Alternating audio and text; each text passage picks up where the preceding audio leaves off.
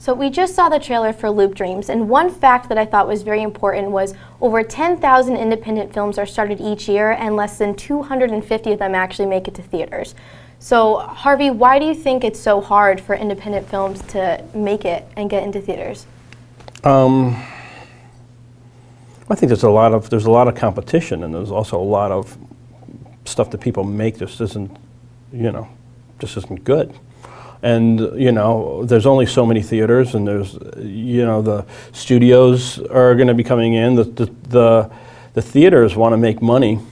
You know, there are there's an awful lot of independent theaters now that'll play independent films. So now those those statistics are changing. That was I love that film. That's a great film. Um, you know, it, it was also from a different era of of equipment has changed so much. So now people can get things out, and the venues are changing. Uh, but the primary goal of the theater owners is to pack the house, is to put in Harry Potter, uh, to fill in uh, as many people, get as many butts into seats and eyes on the screen as possible. And to go off and experiment on something like that, those guys are taking big chances. But there are now, there's more and more uh, theaters that, that will show independent films.